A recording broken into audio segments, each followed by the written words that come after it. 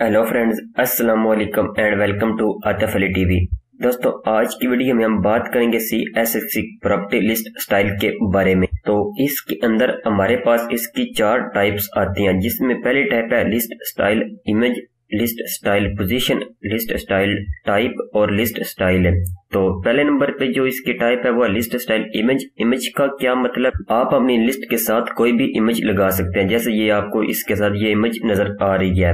Second number पे आता है लिस्ट स्टाइल पोजीशन है इसके ज़रिए आप अपने लिस्ट को पोजीशन दे सकते हैं। थर्ड नंबर पे आता है लिस्ट स्टाइल टाइप टाइप का आपको पता होगा कि इसकी दो ही टाइप्स होती हैं। एक ऑन ऑर्डर लिस्ट और एक ऑर्डर लिस्ट तो चलें जी आप इसको प्रैक्टिकली करते हैं।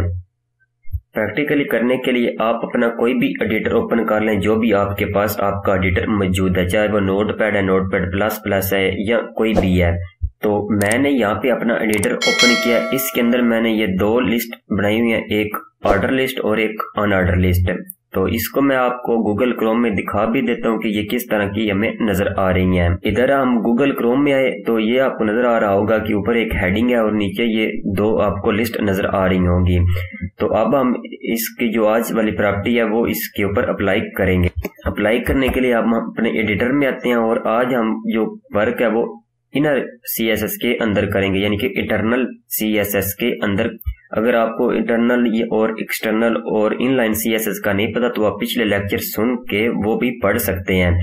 तो इधर इंटरनल सीएसएस में हम काम करेंगे। इधर आने के बाद मैंने यहाँ पे एक स्टाइल का टैग लगाया। इस टाइटल टैग के नीचे और इधर मैं अपना जो सिलेक्टर है, वो नीचे वाली जो ये मेरी लिस्ट है अन ऑर्डर लिस्ट वो लूँगा। तो मैं यहाँ पे यूएल टाइप किया और यूएल टाइप करने के बाद अब इसके अंदर जो इसकी पहली टाइप आती है, वो है लिस्ट स्टाइल टाइप है। तो मैं यहाँ पे टाइप करता हूँ लिस्ट स्टाइल टाइप मैंने यहाँ पे लिस्ट स्टाइल टाइप किया है।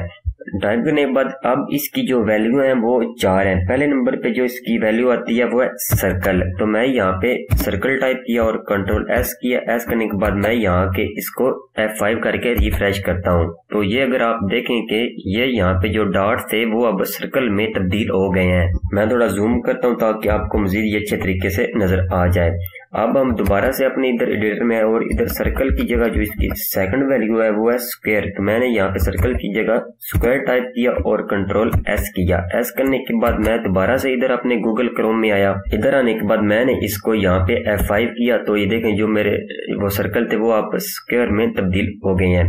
थर्ड नंबर पे जो इसकी वैल्यू आती है, वो आती है डिस्क ये बाई डिफ़ॉल्ट इसकी वैल्यू होती है। आप लगाओ या ना लगाओ, ये बाई डिफ़ॉल्ट में लगी हुई होती है। तो मैं यहाँ पे स्क्वायर की जगह डिस्क टाइप करता हूँ। डिस्क के स्पेलिंग जो है वो डी आई एस सी है। आपने डी आई एस के नहीं टाइप करना।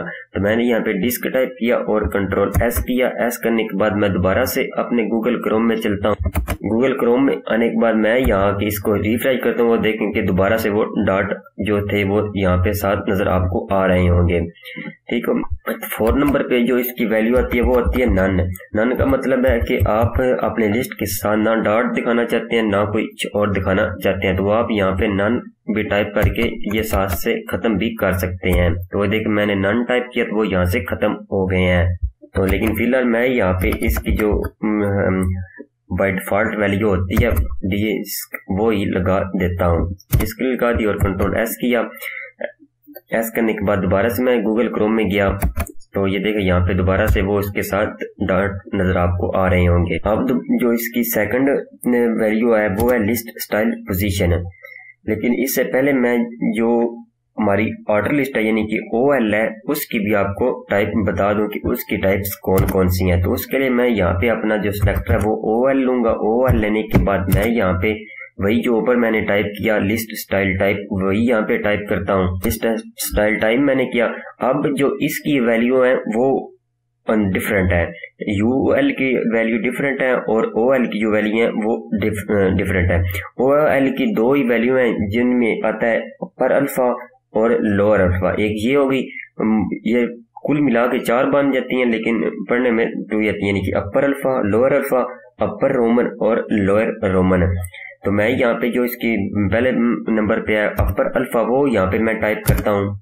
टाइप करने के बाद मैं इसको कंट्रोल एस करता हूँ और एस करने के बाद मैं दोबारा इधर आके एफ़ फाइव करता हूँ। तो देखे यहाँ पे जो अल्फ़ाबेट के अपर अल्फ़ाबेट के वो यहाँ पे आ गए हैं। इसी तरह जो इसकी सेकंड है, वो है लोअर अल्फ़ा तो मैं यहाँ पे अपर की जगह इसको जस्ट अपर खत्म करता हूँ और यहाँ आके मैं इसको लोअर अल्फ़ा कर देता हूँ। लोअर अल्फ़ा किया और इसको मैंने कंट्रोल एस किया और इधर आके मैंने यहाँ फाइव किया। तो देखें छोटी एबीसी में उसकी जो टाइप है, वो हो गई है। इसी तरह जो इसकी सेकंड है, वो है अपर रोमन और लोअर रोमन यानी वो मैं यहाँ पे टाइप करता हूँ बल्कि रहने देता हूँ। और सेकंड नंबर पे इसकी एक और बाय डिफ़ॉल्ट जो इसकी वैल्यू होती है, वो होती है या डेसिमल वो आप लगाओ या ना लगाओ, वो बाय डिफ़ॉल्ट इसकी वैल्यू लगी हुई होती है। वो भी मैं यहाँ पे लगा के आपको दिखा देता हूँ। ताकि आपका डाउट क्लियर हो जाए। तो डेसिमल लगाया और एफ़ फाइव किया तो देखें यहाँ पे जो उसकी बाई डिफ़ॉल्ट वैल्यू थी, वो लग चुकी है। इसी तरह जो चौथे नंबर आती है, वो है नन नन का आपको पता है कि नन से क्या होगा कि ये जो साथ इसके वन टू नज़र आ रहा है, वो खत्म हो जाएगा।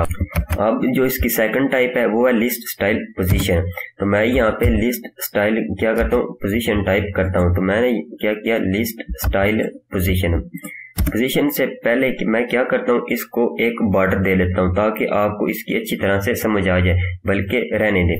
बॉर्डर की ज़रूरत नहीं है उम्मीद है आपको वैसे भी अच्छी तरह समझ आ जाएगी। तो इस लिस्ट स्टाइल पोजीशन में जो इसकी वैल्यू आती है, वो दो है, एक इनसाइड है और एक आउटसाइड है। तो पहले मैं क्या करता हूँ इनसाइड करता हूँ। इनसाइड किया और कंट्रोल एस किया। एस करने के बाद मैं गया अपने गूगल क्रोम में, उधर आके मैंने एफ़ फाइव किया। तो क्या हुआ कि जो मेरी नीचे वाली लिस्ट थी, वो ऊपर वाली लिस्ट से थोड़ी सी आगे मूव हो गई है। तो बेसिकली ये इसकी, यही यही ये काम करती है कि ये जो लिस्ट ऊपर वाली लिस्ट से नीचे वाली लिस्ट को या नीचे वाली लिस्ट से ऊपर वाली लिस्ट को थोड़ी सी आगे मूव करवा देती है।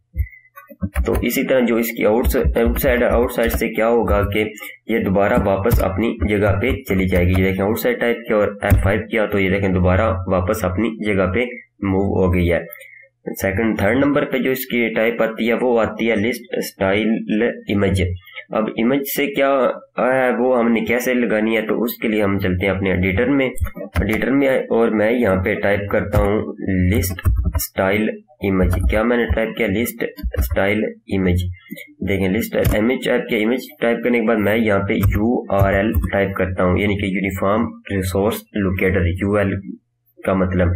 मैंने यू आर एल टाइप किया और यू आर एल टाइप करने के बाद मैं आपको एक ये इमेज डाउनलोड करने की वेबसाइट बता देता हूँ, आप वहाँ से इमेज डाउनलोड कर लीजिएगा। बिल्कुल फ्री में आप वहाँ से इमेज कोई भी इमेज डाउनलोड कर सकते हैं। तो डाउनलोड करने के लिए मैं इधर गूगल क्रोम में आया, मैंने यहाँ पे एक न्यू टैब ओपन किया। इसके अंदर मैं यहाँ पे जो वेबसाइट है वो ओपन करता हूँ, जिसका नाम है आइकन फाइंडर तो ये आइकन फाइंडर है। आइकन फाइंडर के अंदर मैंने राइट एरो सर्च किया। और राइट एरो सर्च करने के बाद यहाँ पे आप जो सेटिंग है, इसकी इसमें आए सेटिंग में आने के बाद ये इसका जो साइज़ है, वो 16 पिक्सल कर दें, यानी कि 16 पिक्सल यहाँ से आप कर दें, ताकि ये आपको एरर जो वो आपकी बिल्कुल फिट आए। तो मैं यहाँ से ये पहले वाला जो, यहाँ ये वाला और ये, बल्कि ये पहले वाला जो एरो है, ये डाउनलोड करता हूँ। डाउनलोड करने के लिए मैं इस पर क्लिक करूँगा। तो वो यहाँ पे जो इसकी टू डॉलर प्राइस है, वो मांग रहे हैं, लेकिन हमें जो फ्री वाले हैं, वो चाहिए। तो मैं यहाँ से इसको कट करता हूँ और ऊपर मैं थोड़ा इसको आपको लेके जाऊँ। तो यहाँ पे ये देखें ऑल प्राइस के आगे फ्री लिखा हुआ है। तो मैं इसके ऊपर क्लिक करूँगा। तो जैसे ही मैं इसके ऊपर क्लिक करूँगा, जो अब जो फ्री वाले आइकन है, वो यहाँ पे आ जाएँगे। तो इसकी भी मैं सेटिंग में जाता हूँ और यहाँ पे सोलह पिक्सल किया। तो यहाँ पे जो ये पहले वाला आइकन है, इस पर क्लिक करता हूँ। क्लिक करने के बाद यहाँ से मैं इसका जो साइज़ है, वो 64 पिक्सल और यहाँ से मैं डाउनलोड आइकन इन पीएनजी पे क्लिक करता हूँ। तो ये मेरा आइकन डाउनलोड हो गया। इसको मैंने अपनी जो मेरी ये फ़ाइल है इसके साथ ये एक इमेजेस का फोल्डर बनाकर इसके अंदर मैंने रख दिया। ये मेरी असल में फ़ाइल है लिस्ट स्टाइल वाली ये, और इसके साथ मैंने इमेजेस का फोल्डर बनाया और इसके अंदर मैंने रख दिया है। अब मैं इसको क्या करता हूँ कि अपने डेटर में जाकर अपने एडिटर में जाता हूँ और वहाँ जाके मैं इसको लगा देता हूँ। तो लगाने के लिए मैं अपने एडिटर में आऊँगा। इसको यहाँ से मैं खत्म करता हूँ। और इधर एडिटर ओपन किया। एडिटर ओपन करने के बाद आपको पता होगा मैं पीछे पढ़ा भी चुका हूँ कि यहाँ पे अगर इमेज लगानी हो तो वो किस तरह लगाते हैं। तो मैं वही सेम काम करता हूँ और यहाँ पे मैं जो अभी इमेज मैंने डाउनलोड किया है, वो लगाता हूँ। तो वो लगाने के लिए पहले मैं यहाँ पे जिस फोल्डर के अंदर रखी है, वो फोल्डर का नाम टाइप करूँगा। तो मैं यहाँ पे टाइप करता हूँ कि मेरा एक इमेजेस का फोल्डर है। उसके अंदर मेरी एक फ़ाइल है, जिसका नाम है राइट एरो या कोई भी जो भी आप नाम रखें, वो आपने बताना है कि मेरे इस नाम से फ़ाइल है। आगे आपने उसकी टाइप बतानी है कि आपकी जेपीजी में में है या पीएनजी में है। जिस फॉर्मेट के अंदर आपकी फ़ाइल होगी, वो आपने मुकम्मल डिटेल के साथ यहाँ पे टाइप करना है। तो मैं यहाँ पे आपके सामने टाइप भी करूँगा ताकि आपको अच्छे तरीके से समझ आ जाए।